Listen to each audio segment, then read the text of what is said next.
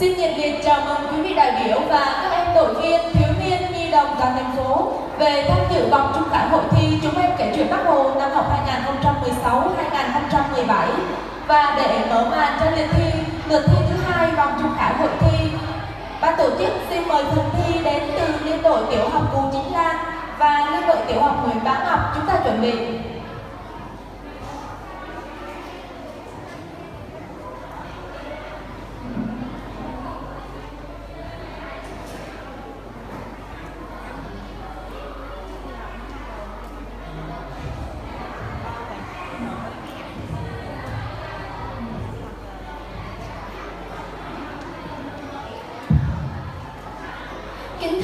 Vị đại biểu, kính thưa các quý thầy cô giáo cùng toàn thể các bạn. Lời đầu tiên, cho phép em xin được gửi đến quý vị đại biểu, ban giám khảo, các quý thầy cô giáo cùng toàn thể các bạn lời chúc sức khỏe và lời chào cho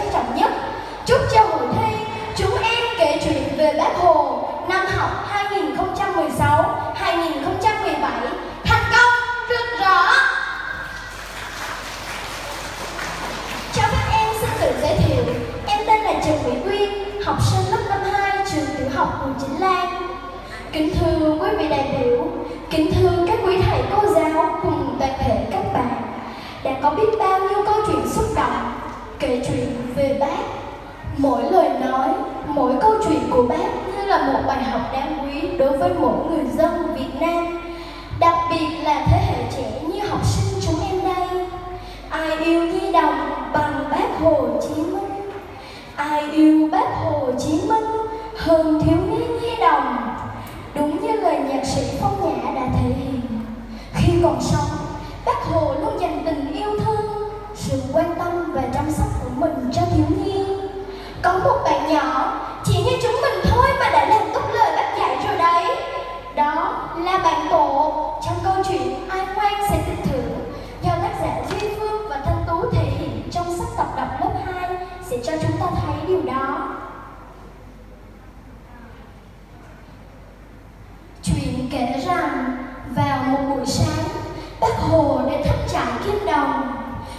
Vừa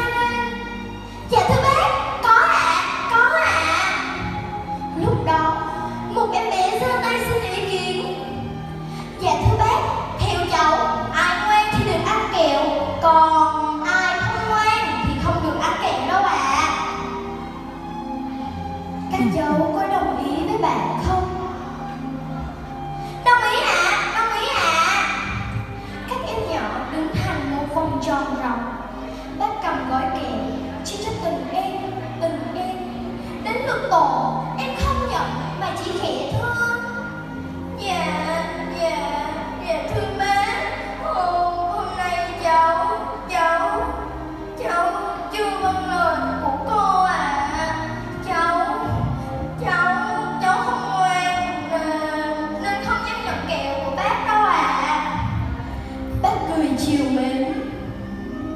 Cháu có lỗi, biết nhận lỗi thế là tốt lắm. Cháu vẫn được phần kẹo với các bạn khác. Tội mừng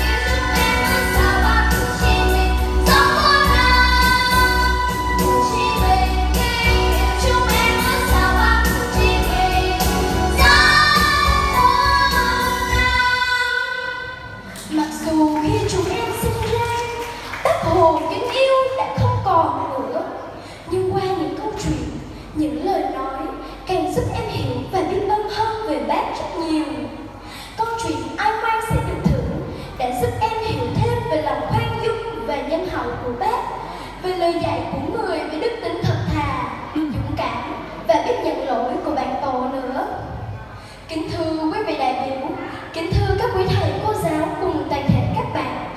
Trong năm học vừa qua, em đã cố gắng không ngừng học tập để trau dồi thêm tri thức, giúp đỡ các bạn học yếu, tham gia các phong trào do liên đội đề ra như một phút làm sạch trường em, nhặt được của rơi trả lại người đánh mất, tham gia các cuộc thi rung chuông vàng, toán, văn, năng khiếu, viết chữ đẹp, tham gia nghe các buổi tuyên truyền về lịch sử biển đảo do các bạn trong đội tuyên truyền măng non tổ chức. Các buổi trò chuyện lịch sử. Kính thưa quý vị đại biểu, kính thưa các quý thầy